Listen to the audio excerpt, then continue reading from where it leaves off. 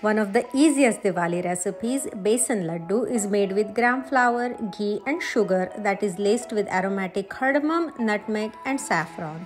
As a child, I recall waiting earnestly for the time when our heirloom copper pans would be brought out for roasting the besan. My mom patiently slow roasted the besan, adding ghee by the spoonfuls as the entire house would fill with the heavenly aromas, and we couldn't wait to lay our hands on the laddu.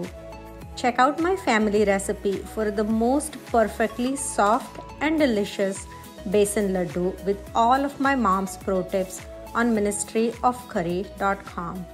Happy Diwali from my family to yours.